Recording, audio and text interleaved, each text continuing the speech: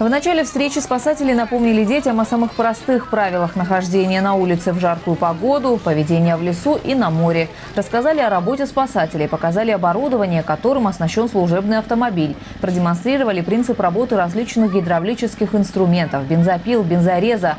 Развернули световую башню, необходимую для освещения места чрезвычайной ситуации в темное время суток. Также детям показали носилки для транспортировки пострадавших из леса. На них есть специальные крепления для фиксации человека. Дно носилок сделано таким образом, чтобы зимой, работая в горах, можно было их с легкостью катить по снегу, как санки. Событием для детей стало общение с лабрадором-спасателем по кличке Гера. Кинолог продемонстрировала навыки ловкости и послушания своего питомца. В завершении встречи дети смогли поиграть с лабрадором. Также все желающие примерили на себя каски и шлем пожарного.